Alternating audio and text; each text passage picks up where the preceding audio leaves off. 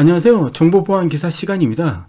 오늘은 저번 시간에 이어서 어, 블로그 암호, 중요 블로그 암호 알고리즘에 대해서 알아, 보는 시간을 갖도록 하겠습니다. 제가 어, 이번 주에 몇 번이나 이제 이 정보보안 기사를 찍으려고 암호, 암호 부분 찍으려고 시도를 했는데 어, 이번에 그 직장에서 하는 그 프로젝트가 좀 힘들었어요. 그래가지고 집에서 와서 책상에 앉아서 막 찍으려고 하는데 잠이 너무 와서 두 번이나 실패했어요. 그리고 오늘은 진짜 금요일이니까 이제 한번 하자.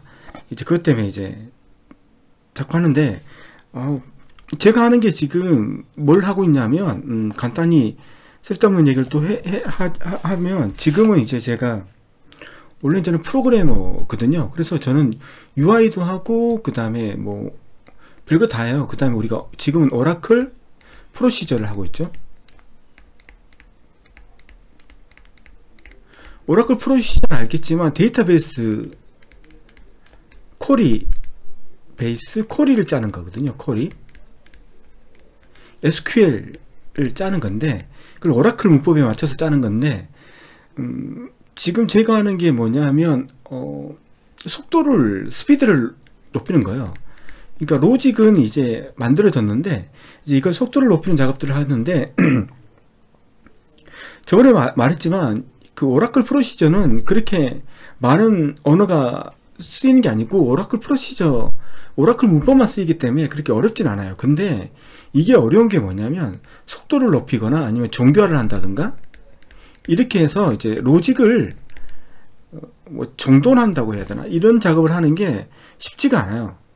그리고 또 이제 우리 같은 경우는 이제 원래 이제 지금 현재 제가 작업하는 곳에는 이전에 MySQL로 이제 모든 것이 query가 짜져 있었는데 이걸 이제 오라클로 또 migration 하는 작업들을 또 하고 있거든요. 이제 그게 MySQL, SQL에서만 쓰는 문법이 있어요. 뭐, 뭐더라, 이게 퍼센트, 뭐 이, 이런 퍼센트 들어가는 것들이 있거든요. 뭐 select 문에 뭐 퍼센트 들어가는 문, 변수들이 있는데 이제 그런 것들을 오라클로 어떻게 변환할 것인가 이런 걸 막 생각하다 보니까 뭐 그렇게 UI를 만드는 것처럼 번잡하진 않는데 머리를 너무 많이 쓰는 거예요. 그래서 직장에서 일을 하고 이제 집에 와서 이제 아 이제 찍어야지 하고 딱 찍는데 앉는데 책상까지는 앉는데 어우 그냥 잠이 몰려와요 그냥, 그냥 쓰러져 버려요 그래서 두 번 실패했다는 거. 오늘은 아무리 피곤해도 이제 좀 찍어야 되겠다. 그래서 오늘은 전번에 했던 거 블로그 암호 하고 있잖아요 우리 대칭키 암호 하고 있잖아요. 그래서 중요 블로그 암호 알고리즘에 대해서 이제 하는 시간을 갖도록 하겠습니다. 처음에 데스하고 CD, AS, 아리아 이걸 할 거거든요. 전번에 말씀드렸지만 Feistel하고 SPN 구조를 크게 배웠잖아요. 대칭키 암호에 블록 암호가 있는데 블록 암호는 Feistel하고 SPN으로 되어 있다. Feistel은 암호하고 복호화하는 logic이 똑같다. 그래서 암호화하는 역순으로 가면 복호화가 되는 거고 SPN은 암호화 구조와 복호화 구조가 틀리기 때문에 어렵다. 라고 했잖아요. 그래서 페이스탈 구조는 데스하고 CD, 시드, 가 있고 그 다음에 SPN 구조는 AES하고 ARIA가 있다. 중요한 게 뭐냐면 DES가 먼저 나왔고 Feistel 구조에는 DES가 먼저고 SEED 이것도 한번 적으면서 해볼까요? 음. 그 정리가 잘 돼 있어야지 이제 우리 같이 실기도 시험을 쳐야 되는 경우에 이런 정리가 잘 돼 있으면 뭘 적으라고 할 때 아시겠지만 실기는 적는 게 많잖아요. 그때 이제 적기가 편하거든요. 그래서 우리가 이제 대칭키 암호 대칭키 암호 암호라고 했을 때 키가 하나 하나의 암호라 했을 때 여기에는 뭐 스트림 암호가 있고 그 다음에 블록 암호가 있고 블록 암호에는 Feistel 구조가 있고 그 다음에 SPN 구조가 있다. 그 다음에 Feistel에는 종류가 뭐냐면 그 SEED 뭐, 뭐야 DES 그 다음에 SEED SEED가 중요한 것은 이게 먼저 나왔고 그 다음에 후에 나왔는데 시드는 우리 한국 키사에서 만든 암호 알고리즘이죠 그래서 시험에 잘 나와요 이런 것들은 우리나라에서 만든 거고 그 다음에 시험 주관, 주관사가 키사잖아요. 키사하고 연관되어 있는 거기 때문에 이 CD가 잘 나와요. 이런 거. 이 DS보다는 좀 더 안정된 구조를 가지고 있다고 보시면 되고 SPN 구조는 AS가 있고 그 다음에 이거 이게 먼저 나왔고 그 다음 나중에 나온 게 아리아인데 아리아는 우리 한국에서 또 만든 거죠. 이거. 그래서 이게 중요한 거예요. 그래서 데스 데스를 거꾸로 하면 S잖아요. SED, 시드잖아요. 이게 한 쌍이고 AES는 아리아하고 한 쌍이라는 거. 그다음 중요한 것은 CD하고 아리아는 우리 한국 거라는 거. 그래서 시험 문제에 나올 수 있는 확률이 높다는 거. 이걸 알고 이제 들어가 보도록 하겠습니다.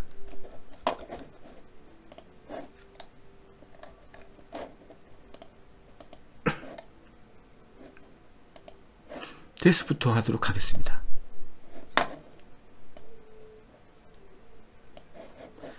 자, DES 기본 역사. 역사 1973년 미국 국립기술 표준원 NIST 이걸 외우고 있어야 되죠. NIST라는 데를 대칭키 암호화 시스템에 대한 제안 요청서를 발표하였고 IBM이 제안한 IBM이 제안한 DES가 채택되었다. DES는 발표된 후 20년간 국제표준 및 미국 표준으로 활용되었다. AES는 오랫동안 표준으로 제정된 DES를 대체하기 위하여 개발된 알고리즘이다. 분명 말했죠. Feistel 구조보다 SPN 구조가 더 어렵다고 알고리즘이. 왜냐하면 암호하고 복호화하는 구조가 틀리기 때문에 그렇기 때문에 어, 좀 더 안전하겠죠 AES가. 예. 그렇게 생각하시면 이 말이 무슨 뜻인지 아실 겁니다.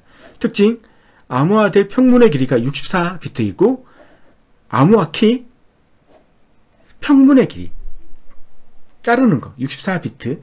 그 다음에 암호화 키는 56비트. 64비트 평문을 64비트 암호문 생성. 긴 평문은 64비트 크기의 블록으로 분할. 뭐, 이게 2번하고 3번이 좀 바뀌어야 될 것 같아요. 좀 말이 조금 있는 것 같아요 이게. 하겠지만 여기 보면 긴 평문은 64비트 크기의 블록으로 분할하고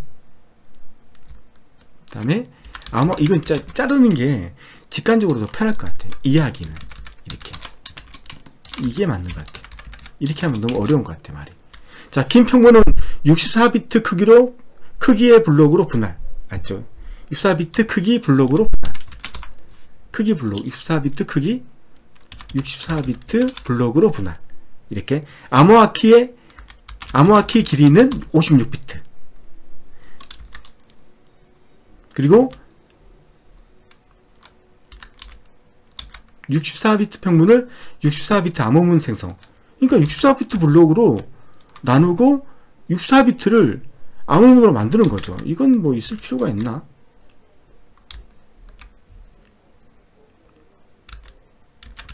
블록을 60비 암호문 64비트 평문 블록을 64비트 암호문 블록으로 생성. DES는 Feistel 네트워크 Feistel 구조.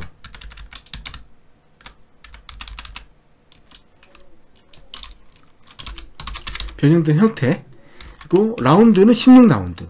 자 우리가 제일 중요하게 생각해야 되는 게 뭐냐면 평문은 64블록으로 분할. 이거. 중에 키포인트가 있어요. 이거. 이거. 이게 중요하고 그 다음에 암호화 키 길이는 56비트. 이거. 외워야 될 게. 그 다음에 라운드 횟수는 16라운드. 그 다음에 이게 나와야 되는 거예요. 그래서 DES는 어떻게 나와야 되는 거예요? 평문은 64비트 블록. 그 다음에 암호화 키는 56비트. 그 다음에 라운드는 16라운드. 라운드라는 게 권투할 때 있잖아요. 1라운드, 2라운드, 3라운드, 3, 16번 뛴다는 거죠. 16번. 그러니까 암호화 알고리즘을 16번 돌린다는 거예요. 16번 돌린다는 거예요.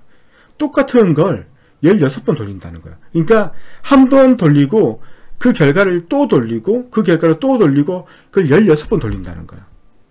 완전히 섞어버리는 거죠. 예. 중요한 건. 그래서 56비트 암호화 키로부터 16개의 sub key를 생성하고 그 sub key를 각 라운드에 사용. 이따 보여드릴 건데 이게 무슨 말이냐면 이거예요. 음. 이렇게 이해하시면 되죠. 어.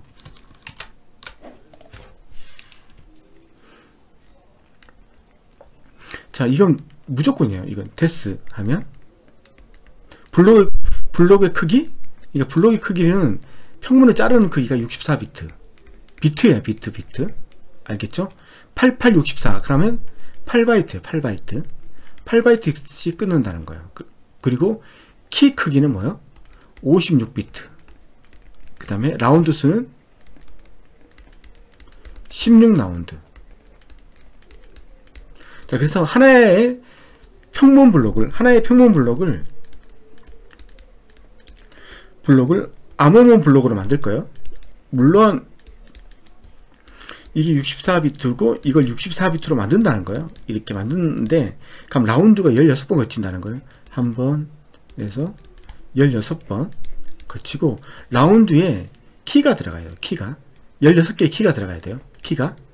키가 들어가는데 키를 어떻게 생성하느냐 이 56비트 키가 주어지잖아요 이 키에서 16개를 만들어낸다는 거예요 16개를 이렇게 만들어낸다는 거예요. 그래서 각 라운드마다 키가 들어가게 돼 있어요. 키가 이렇게. 아시겠죠? 그 말을 지금 표현한 거야 그러니까 이 말은. 56비트 암호화 키로부터 16개의 sub key를 생성하고 그 sub key를 각 라운드에서 사용한다. 예. DES의 암호화 과정과 복호화 과정은 데스 데스는 암호화 과정과 복 암호화 복화 과정이 암복화 과정이 암복화 과정이 같다는 거죠. 과정이 동일. 치안과 전치 이를 혼합한 암호를 사용한다. 혼합 치안과 전치 아시겠지만 치안과 전체는 들어가죠. 예. 치안은 혼돈을 시키는 거죠. 내가 분명히 다시 해볼게요. 치안과 치환 반복을 해야 돼요. 그래야지 이게 이론을 보면서 내 이론을 그러니까 동영상을 보면서 내 머리에 각인을 시켜야 되는 거예요. 따로 공부해도 좋지만 동영상 듣는 시간에 계속 반복해 주면서 그걸 외우는 거예요. 그래서 그냥 나중에 공부할 때 자동적으로 외워져서 공부할 양을 줄이는 거 이게 제가 목표로 하는 거거든요 그리고 제가 목표로 하는 게 또 하나 더 있죠 이론 공부하면서 실기 공부도 같이 한다는 거 그래서 이론 붙고 실기로 바로 갈수 있는 방법을 제시한다는 거? 치환과 전치. 치환 Sub. stitution. 틀려도 좀 이해해 주세요. 전치. permutation, mutation, prelocation. 맞나? prelocation. 다른 말로? 이게 있죠. 치환. 그러니까 I love you인데 love you라는 평문이 있어요. 이걸 암호문으로 만드는데 치환 같은 경우는 I는 퍼센트로 바꾸고 딱 mapping됐어요. L은 뭐 달러로 바꾸고 O는 뭐 C로 바꾸고 V는 뭐 음, 이거로 바꾸고 다 정해져 있어요. 이게 이걸로 바꾸고 이게 이렇게 I를 이걸로 완전히 치환시켜 버리는 바꿔 버리는 거죠. 그래서 우리가 이걸 뭐라 해요? 혼돈스럽다. 혼돈. 혼돈. confusion. confusion. 혼돈스럽다. 혼돈스럽다. 아시겠죠? 전치는 permutation 이건 뭐예요? I love you가 있어요. I love you. 맞죠? 그래서 자리를 바꾸는 거예요. 이게 I가 첫 번째 자리인데 전치 퍼미테이션 로직을 거치면 I가 두 번째 자리로 오고 L이 첫 번째 자리로 오고 이게 이 위치를 바꾸는 거 이게 permutation, prelocation 그리고 자리만 바꾸는 게 아니고 두 번째하고 마지막 자리 이렇게 두 개를 복사해 넣을 수도 있어 확장시킬 수도 있어 expansion 확장시킬 수도 있어요 전체를 해버리면 네. 이게 혼돈과 뭐더라 아까 아 이게 않아 혼돈 혼돈가? 아, 또 기억이 안 나네. 혼돈? 잠시만요. 이걸 절대, 이게, 나는 이게 잘안 돼요. 컴퓨전, 혼돈이고, 그 다음에 디퓨전. 디퓨전? 아, 확산, 확산. 확산. 아, 이제 생각나네. 확산. 혼돈과 확산. 항상 헷갈려 이게 보면 혼돈과 확산. 그래서 이걸 외우고 있어야 돼요 이게 혼돈. 그래야지 나중에 그림 그릴 때 이게 편하단 말이에요 이게 이것들이. 그래서 치환, substitution 이렇게 I를 다른 문자로 바꾸니까 혼돈스럽다 confusion 전치는 위치를 바꿔버려요. 그래서 위치를 바꾸고 위치를 바꾸는데 하나만 1대1로 바꾸는 것도 아니고 1대2로 바꿀 수도 있어요 이렇게. 위치를 두 군데 퍼뜨릴 수 있어요. 확산시킬 수 있죠. 확산. 퍼뜨린다는 거죠. 확산. 확산. 이게 diffusion 영어 철자는 틀릴 수 있습니다. 네, 이해해 주십시오. 그래서 이걸 잘 외우고 있어야 돼요 이게 DES 내부에서 XOR와 치환 전치 등을 사용하고 S박스 substitution이죠. 혼돈스럽게 만드는 거죠. 제하고 나머지 연산은 모두 선형. X박스가 안정성에서 가장 중요한 부분. 데스에서는 X박스가 제일 중요하다는 거죠. X박스가 뭐다? 혼돈스럽게. I를 다른 문자로 바꾸는 거. 그래서 데스의 핵심 로직은 S박스다. S박스도 있고 P박스도 있고 XO와도 있는데 그 중에서 S박스가 제일 중요하다. 다 데스의 기본 구조죠.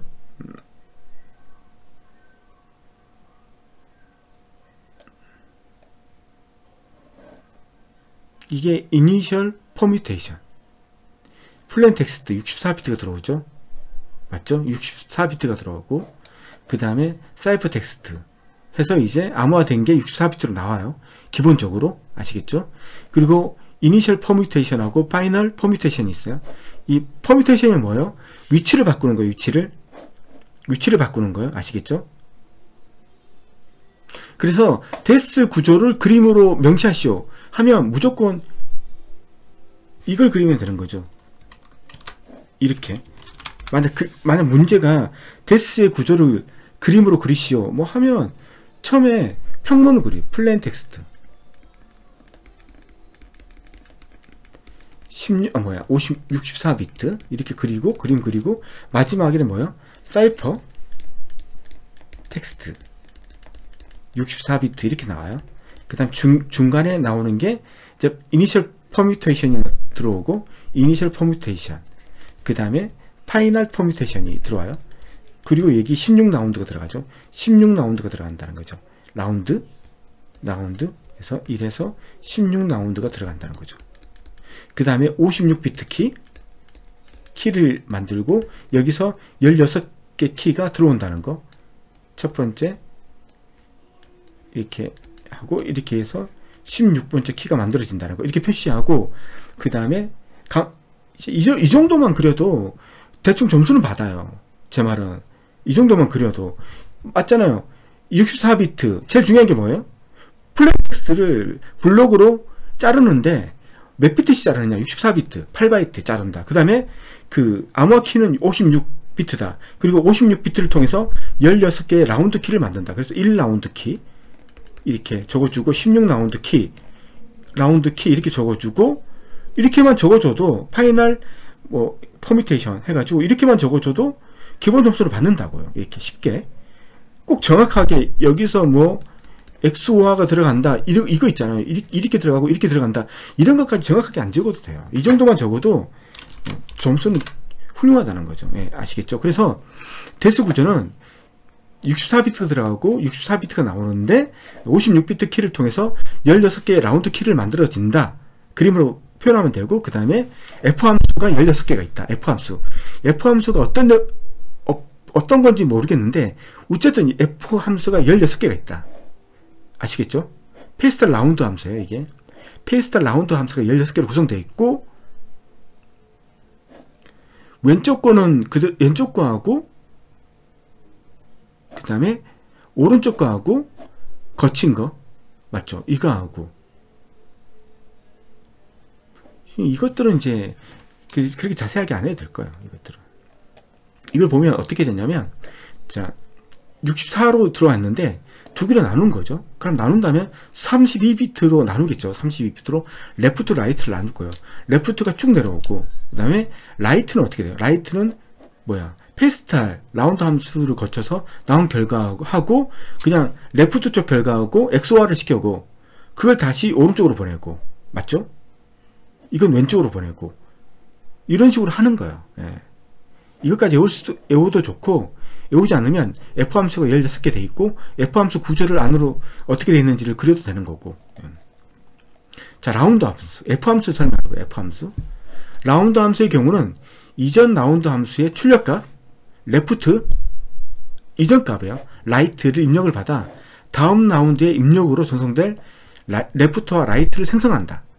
라운드 함수는 32비트 출력 값을 구하기 위해서 64비트니까 왼쪽 32, 오른쪽 32 둘로 나눈 거죠. 그 말이 이거예요. 오른쪽 32비트 응? 를 48비트 암호화키를 적용한다. 라운드 함수는 expansion permutation. expansion permutation이 뭐예요? permutation. permutation이 위치를 바꾸는 거라고 했잖아요. extension permutation. I love you. 이거에 대해서 extension 영어는 틀릴 수 있어요.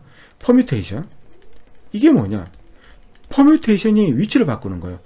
i를 저, 첫 번째, 두 번째, 세 번째, 네 번째, 다섯, 다섯 번째, 여섯 번째, 일곱 번째, 여덟 번째 자리가 있는데 i를 두 번째 보내고 a를 첫 번째 보내고 이건 내려오고 이걸 이쪽으로 보내고 얘를 이쪽으로 보내고 u를 이쪽으로 보내고 o를 이쪽으로 보내고 이렇게 보내. 이게 이제 permutation이고 extension permutation은 뭐냐면 i를 두 번째 보내고 그 다음에 9라는 게 있는데 아홉 번째 두 개로 그러니까 한 문자를 두 문자로 이렇게 퍼뜨릴 수도 있거든요. 이게 extension이야. extension. 그러니까 이게 확산시키는 거죠. 넓게 그냥 분포시켜 버리는 거야.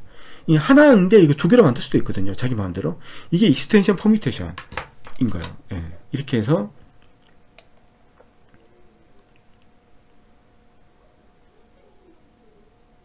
그래서 이제 보, 보면 이게 left, right를 만들었죠. 그 다음 키값 들어온다 있잖아요.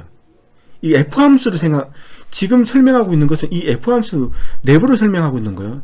이거 F 함수 이 내 안에 있는 내용, 안에 내용이 어떻게 됐냐? left 값하고 right 값이 들어와요. 32비트씩. left 값은 그냥 내려와요. 아시겠죠? right 값, right 값이 중요한 거예요. 근데 right 값은 이게 left 값으로 가고 다음 left 값으로 가고 right 값은 어떻게 구하느냐? expansion permutation을 해요.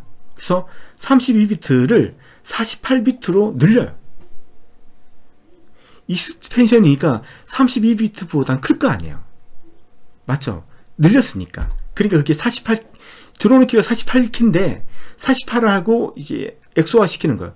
32가 expansion permutation 거치면서 48비트 그래서 16비트가 늘어난 거예요. 그거하고 이제 XOR화 시켜서 S박스를 구는, 구하는 거죠. 그래서 S서브스티션이니까 이 48비트를 mapping되어 있는 어떤 문자로 그냥 바꿔버려요. 그래서 32비트로 다시 만들어요. 근데 다시 그걸 또 P박스로 만들어요. 이건 이제 permutation인데 이건 어떻게 만든다? 그냥 32비트를 32비트로 확장하지 않고 위치만 32비트의 위치만 바꿔버리는 거예요. 그리고 left에 있는 값하고 다시 XOR화 시켜서 right 값을 만들어요. 근데 중요한 건 이렇게 디테일하게 묻진 않아요. 시험에 나왔을 때. 제가 말했, 지만 DES 함수 에 대한 이제 이런 그림만 그릴 수 있으면 되지 이렇게 자세하게 그림을 그리라고 한다면 아마 제가 그 나중에는 이론 그 문제집하고 실기 문제집도 다 정리할 건데 그때 자세히 설명할 거예요. 만약 그때 이, 이것까지 물어보는 문제가 나왔다 하면 어떻게 외울 것인지에 대해서 그때 설명을 하고 음, 우선은 그냥 이 정도로 정리할게요. 제일 중요한 게 뭐다? 암호화 블록 평문 블록을 몇 비트로 자른다? 64비트 그 다음에 암호화 키는 몇 비트다? 56비트 그 다음에 라운드는 몇 번 돌리느냐 같은 로직을 F 함수를 몇 번 돌리냐? 16번 돌린다. 맞죠? F 함수 16번 돌린다. 16라운드. 그리고 56비트 키에서 라운드 키를 16개를 생성해낸다. 이것. 이걸 그림으로 표시하고 이제 할 수 있는 거. F 함수가 있다. 그리고 F 함수는 대충 expansion permutation 거치고 S박스 거치고 그러니까 expansion P박스 그 다음에 S박스 P박스 거쳐서 결과가 구해진다. 뭐 이 정도까지만 그 그림으로 표시할 수 있어도 훌륭한 점수를 받을 수 있습니다. 네. 암호화와 복호화 알고리즘 각 라운드에는 두 개의 믹서와 swapper를 사용하여 16라운드 암호화 알고리즘과 복호화 알고리즘을 만든다.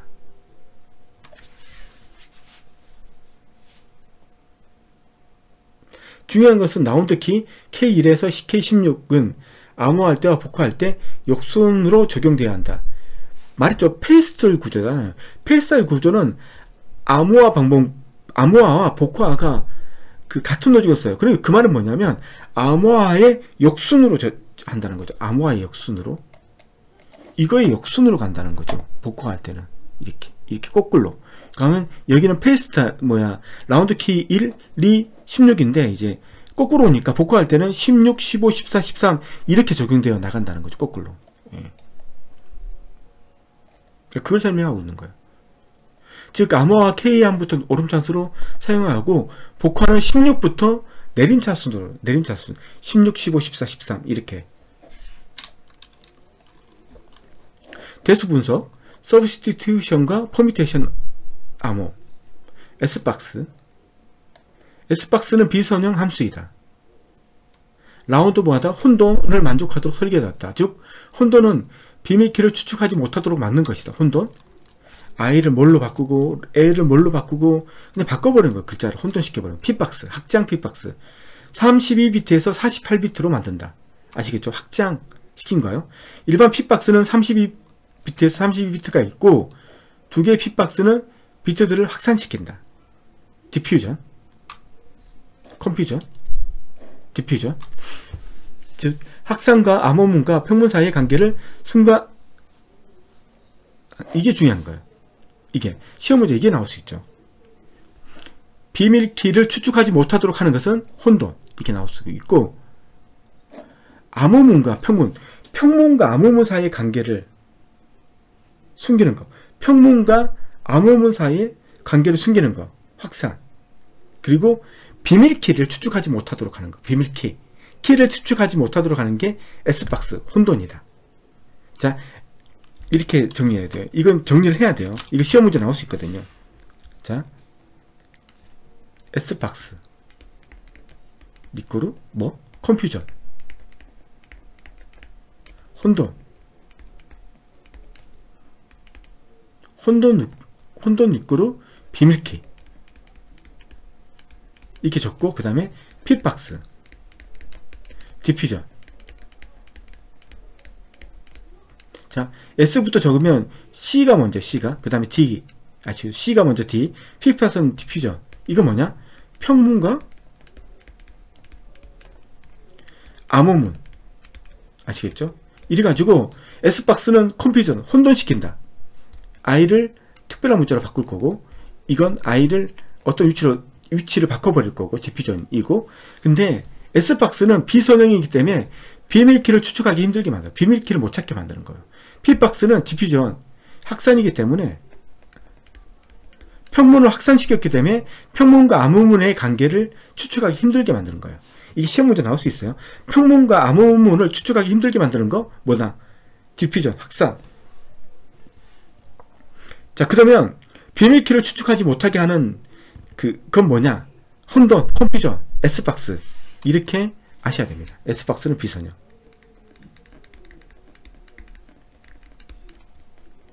선형. 선형은 뭐, 추측할 수 있다는 거죠. 뭐 비선형은 추측하기 힘들다는 거죠.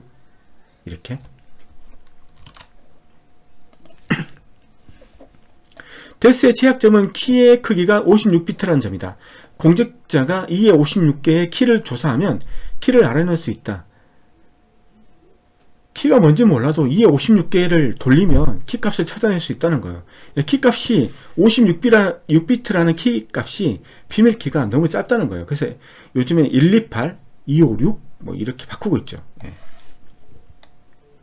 3중 DES. DES를 세 번 돌리는 거예요. DES를 세 번. Triple DES라고 해요. Triple DES.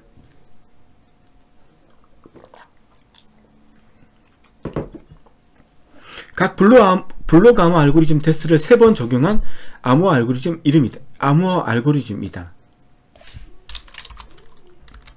현재 사용되는 3DS에는 키의 개수에 따라서 두 개의 키를 갖는 2데스 두 개의 키를 갖는 3데스는 두 개가 두 개가 있다는 거죠. 키가 두 개, 아니면 세 개의 키를 갖는 3데스로 구분할 수 있다. 3데스는 암호화 및 복화할 때 세 번씩 적용해야 하기 때문에 소프트웨어로 구현하기에는 속도 면에서는 비효율적이다. 속도가 떨어진다는 거죠. 소프트웨어로 구현하기 힘들면 뭐로? 하드웨어로 구현하라는 거죠. 하드웨어로. 하드웨어로. 3DS는 은행권 등에서 사용되고 있다. 옛날에 옛날에는 20년 동안 3DS가 그 암호 알고리즘의 그거였잖아요. 그 표준이었잖아요. 그러니까 은행권에서는 그걸 썼던 거예요. 20년 동안.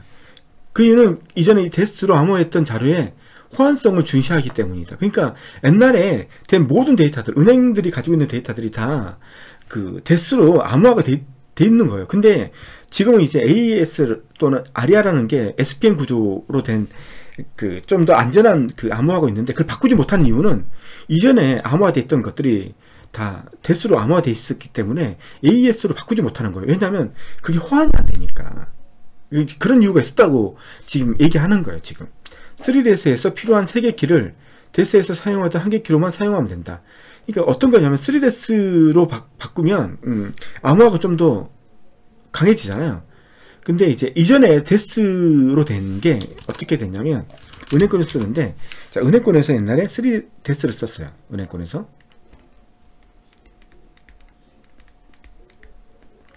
그래서 데스 데스가 20년 동안 표준이었잖아요. 근데 더 좋은 AES, SPN 계열의 AES가 생겼어요. AES 아리아가.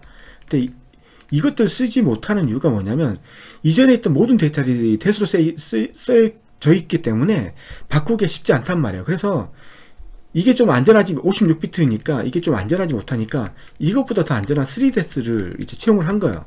왜냐면 데스를 3데스로 바꾸기 쉬워요. 왜냐면 3데스는 키가 3개 있어야 돼요. 키가 3개 암호화, 복화, 암호화 뭐 이런 식으로 키가 3개인데 데스는 키가 하나밖에 없잖아요. 근데 이세개 똑같은 키를 넣어도 3데스로 바꿀 수 있어요. 3데스로 치환할 수 있어요.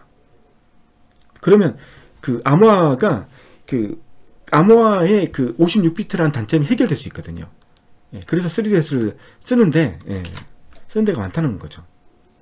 우리나라에서는 블록 암호 시드를 국가 표준으로 정하였고 학계 연구소 정부 기관에서는 아리아를 사용하고 있다. 우리나라 표준은 시드 이거 시험에 자주 나와요. 이거 시드 왜냐하면 키사하고 연관됐기 때문에 키사가 우리 시험을 주관하는 그런 기관이잖아요. 그리고 국가 표준으로 시드고 그 다음에 아리아는 많이 사용하고 있어요. 학계 연구소 정보기관에서는 아리아를 쓰고 있다는 거죠. 이 두 개는 SPN 구조죠. 음. 아, SPN이란다. 이게 SPN 구조고 이게 이게 페스탈 구조죠. 예. 자, 두 개의 키를 갖는 3DES. 여기서는 두 개의 키, K1, 키, K2만 쓴다. 자, 보시면 알겠지만 암호화를 뭐야, 평문을 암호화로 만들 때 키 1, 키 2, 키 1이 써요. 키 두 개짜리가. 그때 키 1을 가지고 encryption 시키고 평문을 encryption 시키고 K2를 가지고 decryption 시키고 다시 K1 가지고 encryption 시켜서 암호화를 만드는 거야.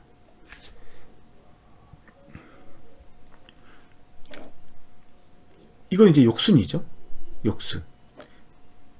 Decryption, encryption, decryption. 그렇지만 QH는 바뀌지 않는다. 중요한 건 QH는 바뀌지 않는다는 거예요.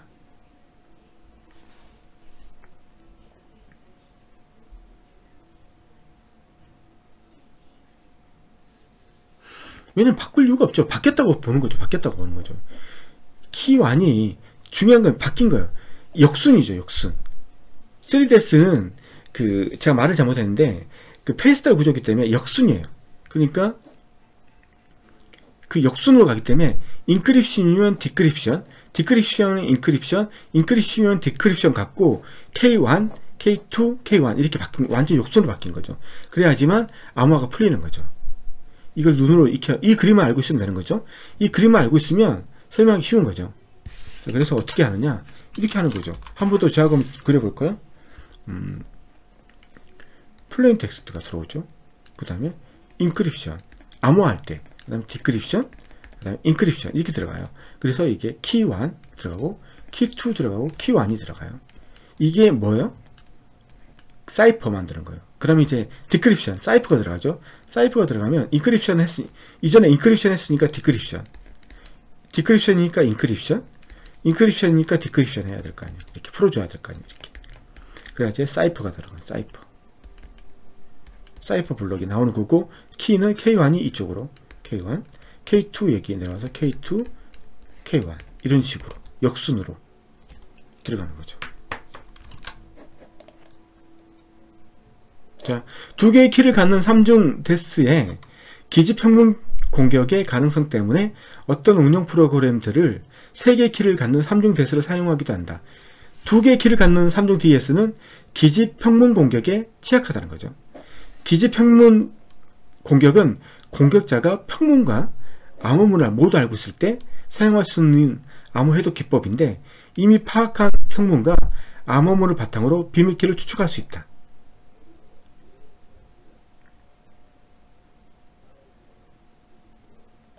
기지 평문 경우. 그래서 이거에 매칭되는 이걸 알고 있다는 거죠. 기지 평문 경고는 뭐냐 하면 Plain text에 해당하는 암호문을 쌍을 알고 있다는 거예요. 그래서 추측할 수 있다는 거죠. 아, P가 들어가니까 암호문 이게 나왔다. 추측하는 거죠. 추측해서 이 키를 파악할 수 있다는 거예요. 자, 세 개의 키를 갖는 DES. 이거요. 똑같아요. Encryption, decryption, encryption. 역순, decryption, encryption, decryption. 그리고 키 위치 바뀌죠?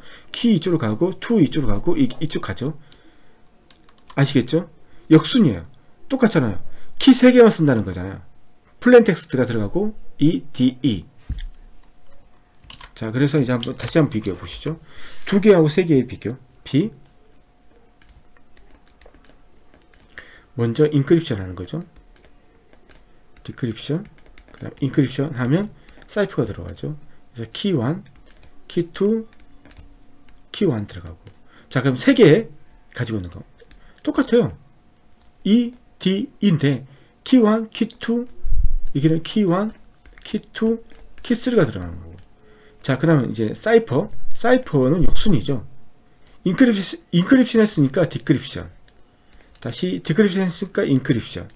Encryption 했으니까 decryption 해서 평문을 만드는 거죠. Plain text를 만드는 거고 자 그래서 키 값도 완전히 바뀌는 거죠. 3가 여기는 여기서 K1 들어오고 K2 K1 들어가고 여기는 K3 K2 K1 들어오는 거죠. 이거 그림 그리라고 하면 그릴 수 있겠죠. 이런 문제가 나온다면 이것들은 예. 자 오늘 SEED까지 한번 가도록 하겠습니다. SEED까지 자 왜냐하면 DES하고 SEED가 하나의 Feistel 구조니까 오늘은 Feistel 구조를 어, 완료하는 걸로 하죠. 어. 자, 시드 기본 개념. 국내 블록 알고리즘 시드 128은 민간 부분인 인터넷, 전자상거래, 무선통신 등의 환경에서 민감한 정보의 보호와 개인 프라이버시 등을 보호하기 위해서 1999년 2월 KISA 정보 보안 기사를 주관하는 데가 어디예요? 한국인터넷진흥원 키사 여기서 만든 아, 모화가 시드예요. 그래서 시드는 좀 많이 알고 있어야 돼요. 시험에 나올 확률이 많잖아요. 자기들이 만든 거니까. 개발된 블록 암호 알고리즘자. 국내 알고리즘의 활용성 강화를 위해서 2009년 256 비트의 키를 지원하는 블록 암호 알고리즘 CD를 개발했다. 원래 128이었는데 지금은 256을 쓰고 있다는 거죠.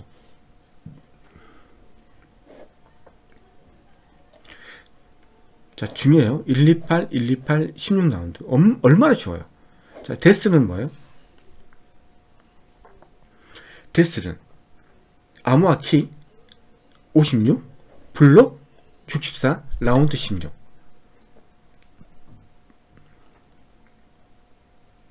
SEED는 키 128. DES의 단점 뭐예요? 키가 56비트가 너무 짧아서 256번 돌리면 아마 키를 알 수 있기 때문에 그래서 어렵다고 했잖아요. 그래서 그걸 SEED가 보완한 거거든요. 그래서 128로 늘렸고 블록은 128. 256 같은 경우도 블록은 128로 고정이에요. 단지 키만 256으로 돼 있다는 거. 그다음 라운드 수가 16라운드에서 24라운드 더 shake 섞었다는 거. 예, 이것만 차이가 있는 거죠. 그래서 힘들겠지만 힘들겠지만 이런 키 길이 블록 평문 블록 길이 라운드 뭐, 암호 암호화 키다 적어줄게요. 암호화 키. 그 다음에 평문 블록 라운드 수 이렇게 다 적어줄게. 이렇게 하면 이것들은 대충 이제 알고 있어야 된다는 거죠. 이런 걸 시험에 나올 수 있는 확률이 있으니까. 예. 자, CD는 데스를 참조해서 만든 거예요. 그래서 구조는 거의 또, 똑같아요. 아시겠죠? 구조는 똑같다는 거. SEED128 또는 SEED256의 전체 구조는 Feistel 구조로 이루어져 있으며 128비트의 평문 블록과 128 또는 256비트 키를 입력 암호화 키를 입력으로 사용하여 16 또는 24라운드에 거쳐 128비트 암호문 블록을 출력한다. 왜 128비트예요? 여기 보시면 알겠지만 평문 블록이 128이에요. 128. 그래서 암호문도 128로 생긴다는 거죠. 128 비트의 평문 블록을 L0, R0, 22개 24비트 블록으로 나눈다. 이건 24잖아요. 24잖아요. 그래서 또는이 아니라 또는이 아니라 이건 2, 256이에요. 256. 라운드 수가 24번 들어갔잖아요. 예. 256, 256. 그래서 initial permutation, final permutation, 그리고 그 SEED 128이면 16번 라운드, F 함수가 16번 들어가고 입력키는 128비트. 그럼 SEED 256일 때는 어떻게? initial permutation 뭐 그렇게 그림을 그리는 거 이따 할 거야. 자, F 함수. 그래서 Feistel 구조를 그려라 하면 똑같은 거예요. 틀린 게 하나도 없어요. 이거 얼마나 좋아요. 자, 이걸 이제 그림으로 필기 실기에 이게 나오는 거죠. 그러면 이제 그 DES하고 똑같다는 거죠. DES하고 구조가 DES하고 똑같다는 거죠. 그렇게 해서 자, 평문 plain text. plain text 이렇게 그림 그리고 그 다음에 initial permutation 확산시키고 그 다음에 f 함수가 몇 개? 16개 있다는 거죠. f1부터 f24 SEED SEED SEED SEED 256 같은 경우는 24개 아니면 시드 1281 같으면 f16 이렇게 되는 거고 이렇게 하는 거죠. 들어가면 되는 거고 그 다음에 이 끝에는 뭐다? 어, final permutation final permutation 끝나는 거죠. 그리고 이제 키는 어떻게 들어간다? 키는 128 키 또는 256 키가 들어올 수 있죠. 키가 들어올 수 있죠. 근데 여기는 128비트가 들어오고 그 다음에 마지막에 이게 끝나면 여기다 적을게요. 여기에 들어오면 cipher text가 들어오는데 cipher text는 128비트다. 이렇게 명시해줘. 그림 그리고 이게 키가 라운드 키가 들어간다. 이 키를 가지고 라운드를 generation 만들어서 16개, 26개를 만든다. 들어간다. 그림하고 뭐냐 F 함수를 그리려고 하면 F 함수는 뭐 여기가 이제 128이니까 64 L에 64비트 그냥 right에 64비트 이렇게 하고 뭐 이, 런 식으로 그리고 이런 식으로 그리고 그림을 막 그려 주는 거예요. 그리고 R은 어떻게 돼 있냐? 뭐, 뭐 확장 permutation, 그 다음에 S박스 permutation 해서 나온다. 이렇게 64비트가 나온다. 이게 이쪽하고 오아링 한다. 이걸 이제 대충 이것만 아는 것만 표현을 해줘도 높은 점수를 받을 수 있다고. 이걸 그림만 그려도. 예.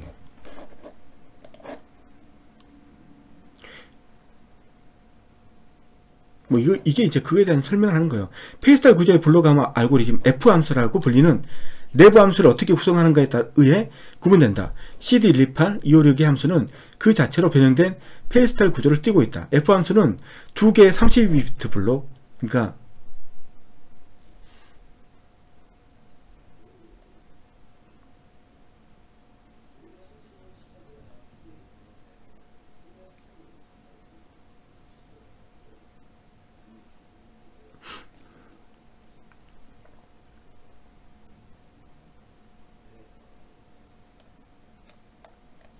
지금 뭐냐 하면 이걸 설명하는 거예요. right 쪽 right 이 보면 여기 설명했죠.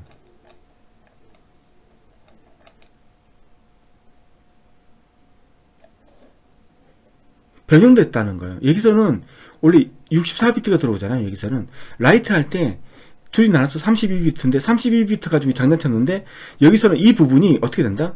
128이니까 64, 64인데 또 이걸 두 개로 나눈대요. C, D로 나눈대요.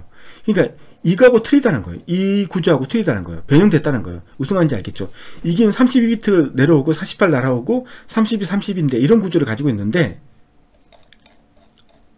CD는 변형, 변형됐다는 거죠. 이 F가. 그래서 보면 한번 음 DES 같은 경우는 여기가 있잖아요. 64비트가 들어가죠. 64비트가 들어가서 레프, left가 32비트 나눠있고 right가 32비트 나눠지잖아요. left는 그냥 내려가요. 쭉 이렇게 내려가고 이, 얘가 이제 이쪽 내려가는데 중요한 건 여기에서 이제 F 함수가 어떻게 구성되어 있느냐 하면 이 F 함수가 이렇게 돼 있죠.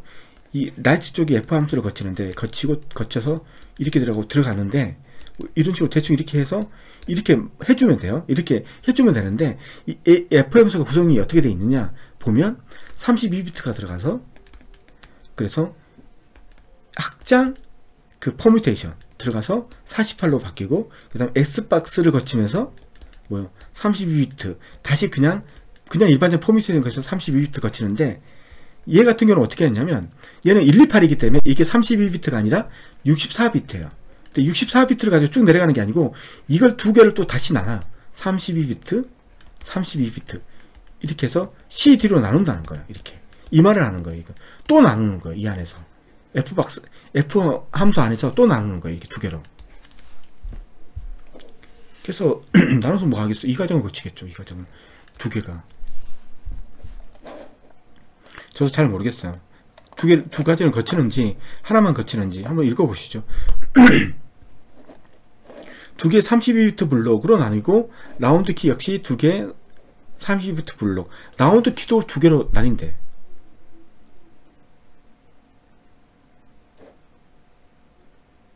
그렇게 이제 계산하는 것 같아요. 변형, 변형됐다는 말이 이런 말인 것 같아요. 왜 이렇게 그림을 그리냐면 만약 그림을 그리려고 하면 그림을 그릴 수 있어야 돼요. 그래서 데스의 F 함수하고 이제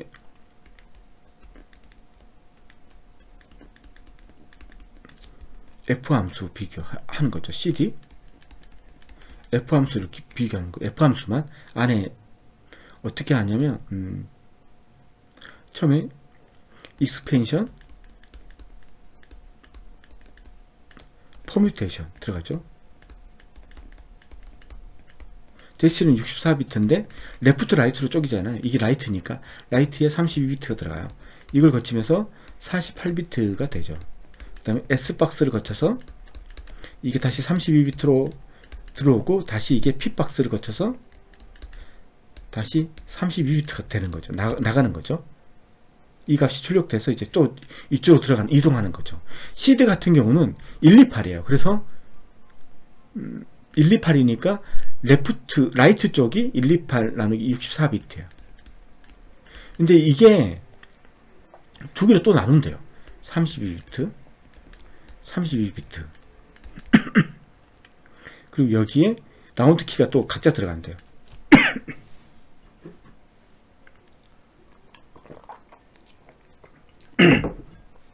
추측건데 이 32비트하고 이 32비트는 어떤 작업을 한다? 이 내용이 들어가 있겠죠. 이렇게 이렇게 하면 안전한 값지. 이게서 변형됐다는 거지. 데스에서 변형됐다는 거죠. 이 부분이 변형된 거죠. 데스에서는 하나 쓰던 걸 64비트를 32비트 두 개로 나눠서 이걸 두, 두 개에 거쳐서 동작하는 거죠. 이런 식으로 구조를 바꾼 거죠.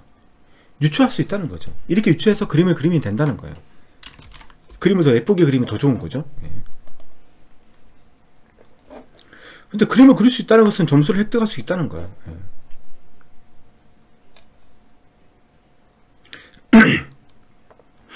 아, CD로 나눠서 여기는 G 함수가 들어가네. F 함수가 아니라 G 함수가 들어가요.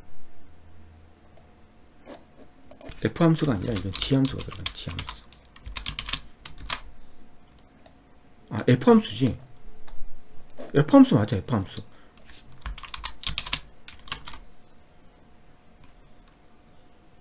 F 함수 안에 이제 G가 들어가는 거지. 이게 완전 틀리네 구조가. F 함수가 있는데 여기는 이제 F 함수가 32비트 32비트를 두 개를 나누는 거예요 오른쪽 거를. 그래서 이제 이 G 함수를 통과시키는 거죠. 이 G 함수가 뭐냐? 이것까지 알 필요는 없어요. 솔직히 이것까지 어떻게 다 그리겠어요? 전체 G 함수는 다음과 같이 기술된다. 32비트 X를 입력받아서 32비트 출력값 Z를 생성한다 위에 G 함수는 구현의 효율성을 위해 4개의 확장된 4바이트 SS박스 XOR로 구현할 수 있다.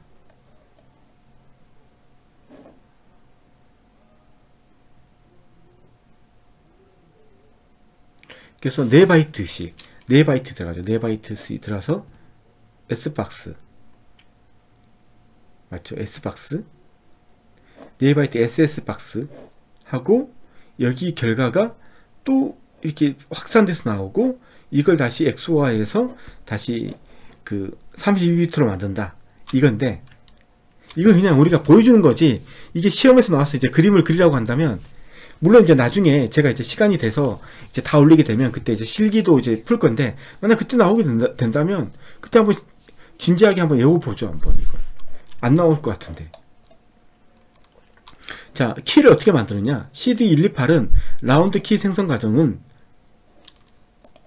키 128 그냥 라운드 키 생성 과정은 128 암호 키를 64비트씩 좌우로 나누어 이들을 교대로 8비트씩 좌우로 회전 회전하고 회전해서 이동하고 그 결과값을 산술 연장, 연산과 G 함수를 적용하여 라운드 키를 생성한다.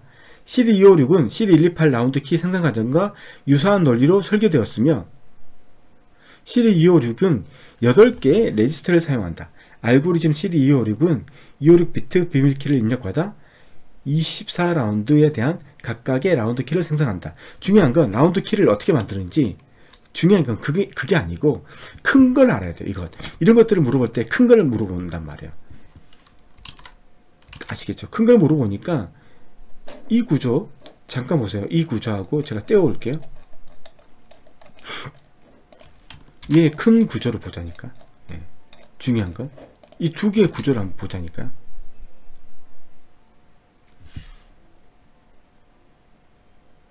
이게 보세요. 맞죠? 구조는 똑같아요. 구조는. 큰 구조는 똑같다고요. 큰 구조. 그래서 데스를 그림을 그리든 아니면 뭐냐 CD의 그림을 그리든 이 큰 구조는 똑같다고요. 틀린 거 뭐야? F 함수가 틀린 거라고. F 함수가.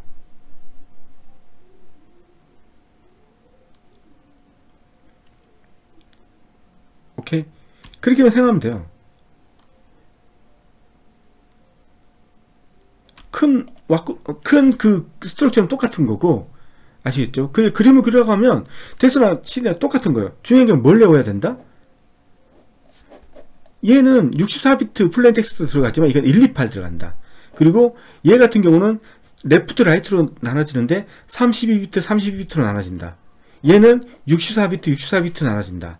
이 중요한 거고 그 다음에 키는 54비트 키가 들어오고 54비트 키를 통해서 16개 라운드가 16개잖아요. 16개 그, 그 라운드 키를 만든다. 얘 같은 경우는 뭐예요? 얘 같은 경우는 어, 128 같으면 16번 그 다음 256 같으면 24번. 근데 중요한 건 R을 두 개로 나눈다. 해서 원래 64 있는데 32, 32 나누고 그 다음에 라운드 키가 두 개가 들어간다. 각 라운드마다 두 개가 들어간다. 그게 차이점이잖아요. 예. 그렇게 하시면 돼요. 그 정도만 이제 표현해 주시면 되는 거지, 그 이상의 디테일은 필요 없다는 거죠. 제가 봤을 때. 만점 받으려고 굳이 그것까지 외울 필요는 없는 거잖아요. 음, 오늘은 여기까지 하도록 하, 하겠습니다. 감사합니다.